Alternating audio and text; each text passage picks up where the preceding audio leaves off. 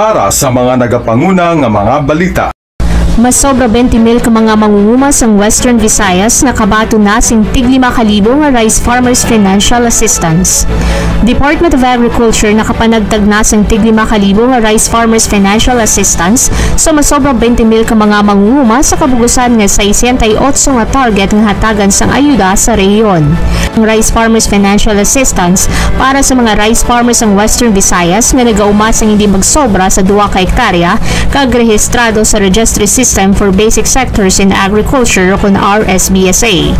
Sang Disyembre sa nagligid nga tuig na panagtaga na sang DA ang 20,440 ka mga mangunguma sa bulig sa Development Bank of the Philippines sa mga probinsya sa Aklan, Iloilo, Guimaras kag Negros Occidental. Opisyal na ginunsa ng Department of Agriculture Secretary Dr. William Dar ang Rice Farmers Financial Assistance sa Rehiyon 6 ang nagligid nga Disyembre 10 sa munisipyo sa Nguton, Iloilo, nga kung sa din may aray ni 1,160 ka mga benepisyaryo. ano yung para sa Region 6 out of the 7.6 billion. Mayroon tayo para sa Region 6, 1.17 billion pesos. O walang palakpak yun. Ang budget na galing sa 7.8 ay nasa total na 1.17 billion pesos.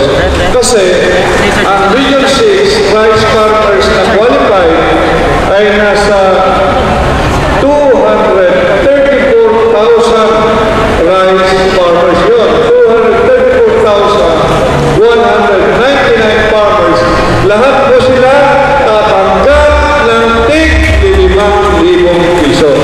Ginpahayag man ni Secretary Dar nga ang Western Visayas isa sa mga top contributors sa 19.4 million metric tons nga produksyon sang palay sang 2020.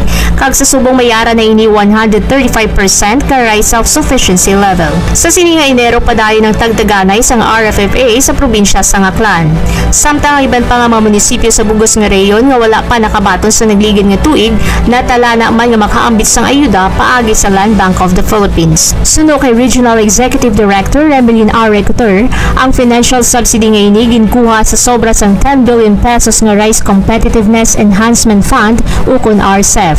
Ang RCEF resulta sang Rice Tarification Law kun Republic Act 11203 nga nagalaong mabuligan ng mga manugpatubas sang palay nga mapataas ang ila produksyon kag kita. 3 billion pesos ang ginatala na para sa mas mataas nga kalidad sang binhi sang palay nga ginapanagtag sa mga mangunguma.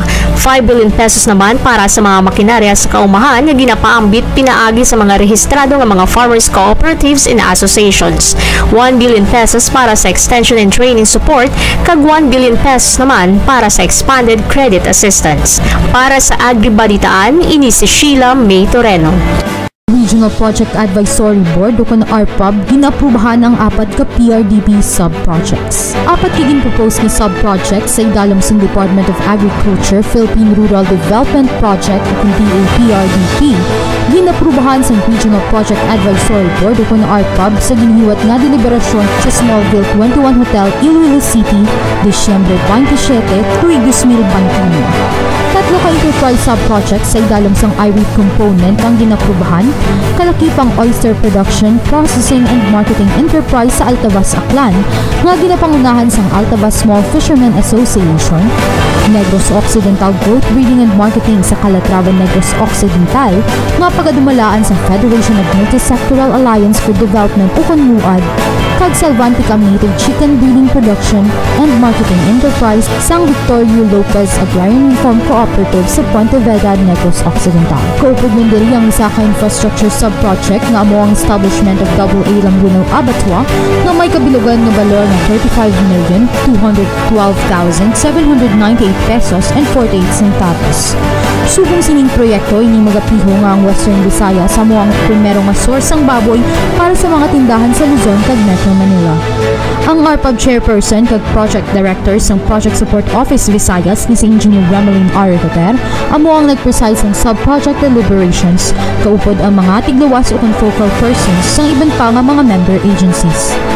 Katapos ang panelists, amo sina Regional Agriculture and Fishery Council o kun RAFC Chairperson Elma Peña, Department of Agrarian Reform Carpo Division Chief Yunol Juliet Lena, Mercedes Sabidong, gikan sa Department of Public Works and Highways ug DPWH, Danilo Loriria, Chief sa Conservation and Development Division sa Department of Environment and Natural Resources ug DENR, kag Wilfredo de los Santos, gikan sa Bureau of Fisheries and Aquatic Resources ug BFAR. Tila ginhayag kag ginhatagan atensyon ang mga importante nga impormasyon nga dako ang manginhulig para sa potensyal na implementasyon sa mga proposals kag naghatag man sa ilang mga nagakaigo nga solusyon para sa pagpasangkad sa mga project plans.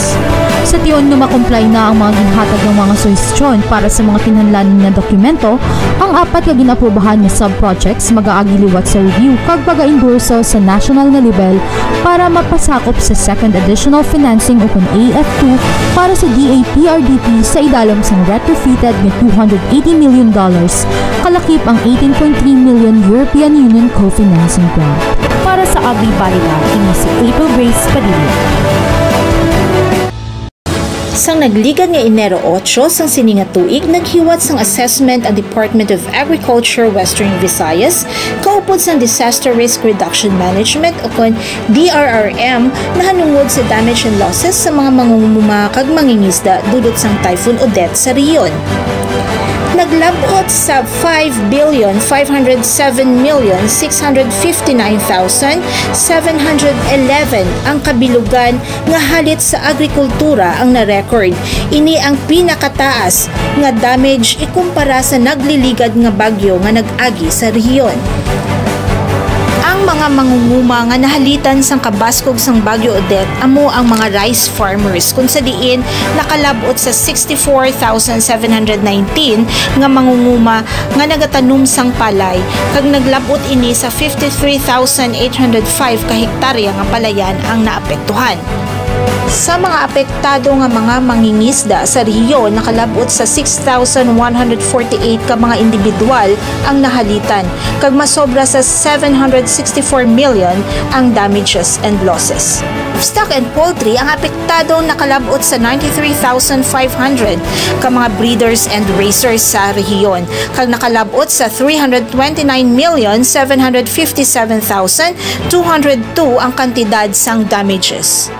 Sa mga coconut farmers, na record nga masobra sa 8,000 ka mga individual nga nagtanom sang lubi ang nahalitan sa rehiyon. Sa mais, yara sa 5,208 farmers ang apektado kag nakalabot sa 224,911,172 ang na-record nga damage nga dulot sang Typhoon Odette.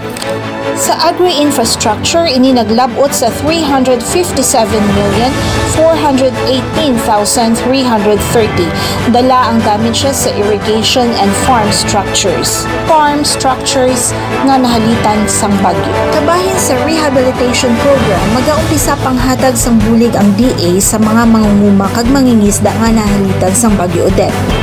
Una sa rice farmers beneficiaries, sila makabaton sang fertilizers, fuel, and labor management. Sa corn farmers, binhi fertilizers kag cash and food subsidy. Sa high-value crops, ang mga benepisyaryo makabaton sang planting materials, vegetable seeds, fertilizers, establishment and rehabilitation of production facilities ang rehab interventions nga tinutuyo sa ahensya ginalantaw nga makabulig sa pagpataas ang produksyon sa masunod na cropping season para sa sektor sa agrikultura. Para sa Agri-Balitaan, ini si Joan Capaciete. DA Western Visayas ginkilala ang mga media partners sa rehiyon sa pagpalinton sa One DA Reform Agenda. Ginpasidunggan sang DA Western Visayas ang mga miyembro sang print and broadcast journalist kag mga provincial farmcasters sang rehiyon sa ila importante nga kadungganan sa pagpalinton sa mga nanuhay-tuhay nga mga agri-fishery stories sa ginhiwat nga media pasasalamat kag year-end press conference sa tuling nga pusan nga bahin sang tuig 2021. Ang tuigan nga kahiwatan nagakilala sa mga hinimuan sang miyembro sang media nga nagahatag ig talupangod sa 1DA key strategies sang talatapan kag padayon nga nagabantala, nagasulat kag nagawaragwag agud mapasanyog ang sektor sang agrikultura sang rehiyon.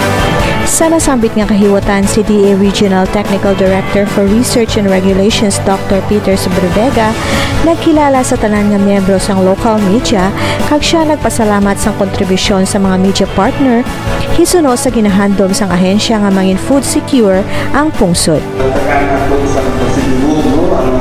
Mga ah, partners, farmcasters, and also mga information officers, and uh, media practitioners nga ari din sa buong pag-iban on virtual um, para nga uh, sa liwat, no? mapasalamatan natin. So, uh, kapay pa nga uh, inadlaw, no, mangin makahulugan para sa ating tanan.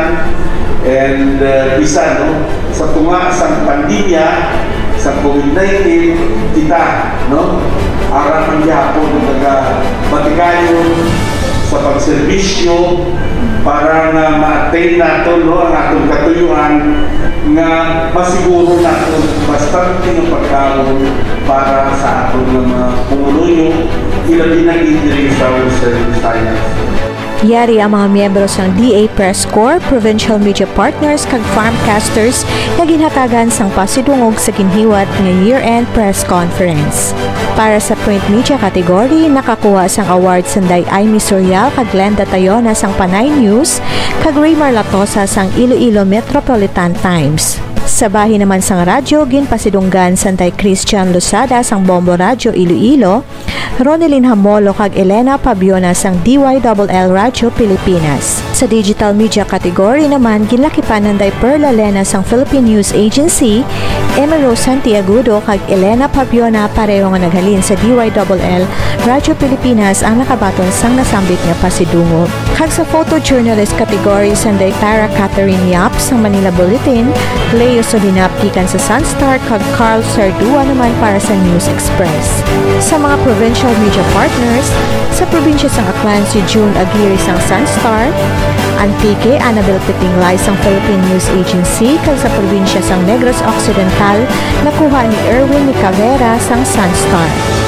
Kag sa bahin naman sang Provincial Agricultural Information Officers kag Farmcasters, Arlene Edna Lavega sang Antique, Judy Bolquerin sang probinsya sang Guimaras, Flory May Castro sang probinsya sang Capiz, Lucilia Perartilia sang Negros Occidental, Jeron Magbanwa sang Iloilo kag April Donso sang probinsya sang Aklan. Kag subong man ginhatagan sang special citation ang presidente sang DA Press Corps na si Joel Franco sang RMN Iloilo. Para sa Agri Balitaan, ini si Mylene Subang.